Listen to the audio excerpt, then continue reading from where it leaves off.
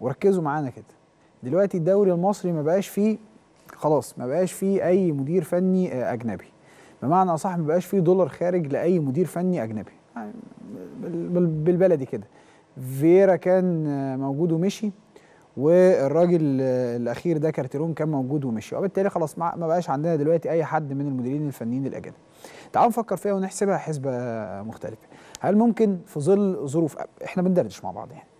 هل ممكن في ظل في ظل ظروف صعبة بتعيشها ال- البلد يبقى في مثلا قرار من اتحاد الكورة يخفض عدد اللاعبين ال- المحترفين بدل من ثلاثة لاثنين ناس ممكن تقول لك لا ده كلام مش مقبول. وأنا مالي أنا أنا كأهلي أنا كزمالك أنا كجمهور أهلي وزمالك أنا مالي. أنا في النهاية عايز اللعيب بتاعي. أنا بلعب في بطولات إفريقيا وبلعب في كأس عالم للأندية وفي النهاية برضه برفع اسم آه، بلدي وبشرف بلدي. زي أهلي وزمالك أكتر ناس بتجيب لعيبة أجانب. طبعا كل الفرق بتجيب لعيبة أجانب لكن الكاتيجوري أقل شوية والفلوس بتاعتها بتبقى أقل شوية.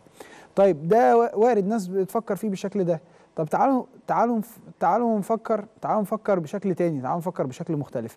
ماذا لو تعاقدت الأندية المصرية مع لاعبين آه، أجانب ولاعبين أفارقة وكان ال- التعاقد ده بالجنيه المصري؟ أدينا بندردش مع بعض. يعني اللعيب اللي حضرتك الأجنبي اللي هيجي والله شرط التعاقد بتاعنا إحنا ناس العملة بتاعتنا هي اللي بن- بنتعامل بيها. كام إحنا هنديك بال- بالمصري؟ زيك زي اللعيبة المصرية. إحنا ما عندناش لعيب بياخد بالدولار. فاهلا وسهلا موافق موافق مش موافق مش موافق. في ظل ظروف صعبة. أدينا برضو بندردش. ليه لأ؟ ليه ما يبقاش اللعيب الأجنبي اللي بيجي عندك يتعامل معاك بالعملة بتاعتك؟ في ظل آه، أزمة اقتصادية واضحة ظل حالة من حالات التقشف اللي في البلد كلها بقى يعني آه، بتعم الناس كلها. فكروا فيها. وفكروا كده في الاتحاد المصري لكرة القدم. ليه الاتحاد ما ما يبتديش يفكر آه، وياخد آه، قرار مثلا إنه يقلل عدد اللاعبين ال- الأجانب اللي موجودين في ال- الدوري؟ ويبقى في نوع من أنواع التكاتف واللحمة كده ما بين الأندية المصرية انديه الأهلي وأندية الزمالك والإسماعيلي وكل أندية مصر على فكرة لأنه الشرقية عندها لعيبة أجانب محترفين الداخلية عندها لعيبة أجانب محترفين كل الأندية المصرية عندها لعيبة أجانب ولكن طبعا أكيد ما بياخدوش الأرقام الفلكية الهلامية اللي بياخدها لعيبة النادي الأهلي. واحد زي أجاي مثلا مش عارف سمعت بياخد له 5 مليون حاجة كده ما يعادل 5 مليون جنيه.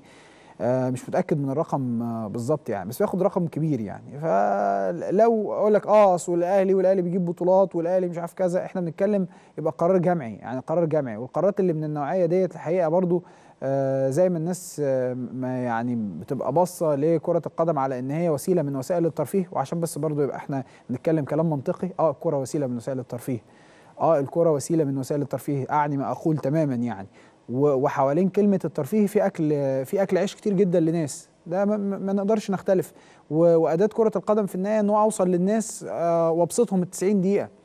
مش أكتر من كده. بس عشان أبسط الناس في ال 90 دقيقة دي في مجهود بيبذل في ناس كتير بتتعب.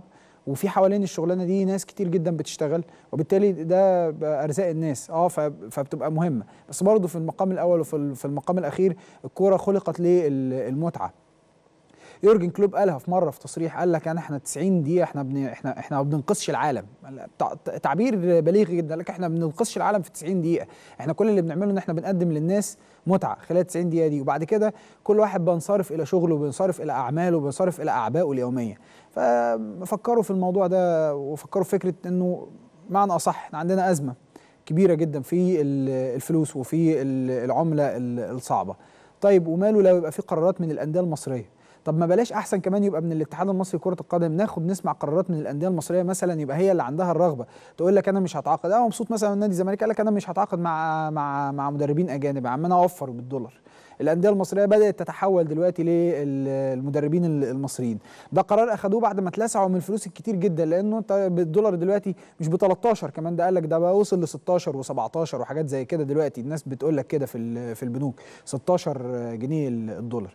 طب وماله لو لو نفكر بالعكس؟ أهي كلها من ضمن الأمور اللي إحنا بنحطها قدام حضراتكم. ما احناش متشبثين برأينا خالص خالص. على فكرة إنما بندردش معاكم في قضية أعتقد بتهم ناس كتير جدا وهي الدولار اللي على فكرة ارتفاعه مع تعويم الجنيه هيأثر بشكل واضح وصريح على كرة القدم. لا ينكره أي شخص لا ينكره أي شخص. إذا كنا بنتكلم على أسعار التذاكر إذا كنا بنتكلم في الماتشات اللي هي الاحتفاليات بمعنى أصح زي مباراة مصر وغانا إذا كنا بنتكلم على الانتقالات بتاعة الأندية انتقالات الأندية اللي بتلعب في الممتاز وبتلعب في الممتاز ب الأندية اللي على قد حالها وحتى كمان الأندية اللي, اللي اللي معاها فلوس هتتكلف كتير بنزين غالي وبالتالي هيبقى في آه، هيبقى في مشقة. بالنسبة للناس اللي تحت في أزمة كبيرة جدا. بالنسبة للناس اللي فوق هيبقى في عندهم مشكلة لكنها مش بنفس الحجم آه، آه، مش بنفس حجم أزمة الناس اللي بتشارك في دوري ال- الممتاز به أو حتى كمان ال- اللي بتصعد حديثا للدوري ال- الممتاز. أعباء بأعباء تعالوا نرفع الأعباء عن بعض ونفكر فعلا إن إحنا نقلل من اللاعبين المحترفين اللي موجودين في مصر أو إذا كانوا موجودين وعايزين يبقوا متواجدين في الدوري المصري